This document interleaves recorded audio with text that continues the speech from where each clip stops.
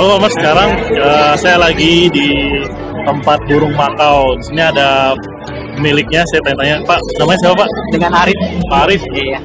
Ini Makau jenis apa Pak? Ini Blue and Gold Macau. Oh iya. Blue and Gold. Ini buat di pameran dijual atau buat apa Pak? Ada yang dijual, ada yang kita sebagai owner cuma jadi ini aja display. Oh iya. Karena kalau yang dijual dipajang semua takut ini takut nggak kejaga. Karena kan kalau yang benar-benar jadi peliharaan kan nggak ke mana-mana dia. Oh iya. Buat apa harganya berapa?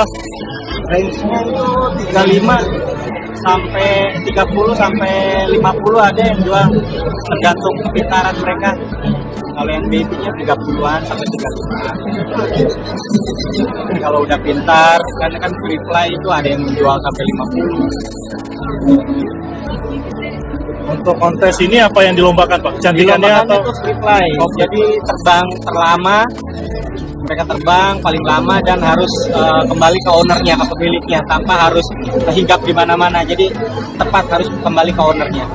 Itu yang paling paling terakhir itu yang benar gitu Ini bukan fisiknya bukan ya? gimana Bukan fisiknya bulunya oh dan bukan kalau itu ada lagi lombanya beauty contestnya jadi cuma dinilai dari kerapihan dari kecantikan bulu posturnya tapi itu masih jarang lombanya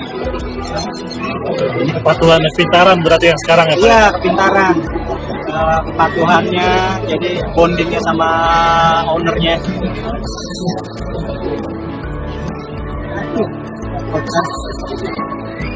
Kesan-kesannya untuk pameran next yang tahun ini dibanding tahun kemarin gimana Pak? Lebih baik atau bagaimana? Lebih baik, lebih ra- lebih lebih antusias pengunjungnya lumayan sangat luar biasa mungkin tahun ini melebihi ke apa pengunjung tahun lalu kayaknya. Tahun lalu itu saya dapat info itu 30 30 ribuan orang ya datang. Hari ini terakhir ya Pak? Hari ini terakhir. Ada komunitasnya Pak? Komunitasnya kita Tangerang Parrot Lovers. Ada Facebooknya ada ya? Facebooknya Instagramnya? Tangerang Parrot Lovers, Instagramnya official dot Tangerang Parrot Lovers.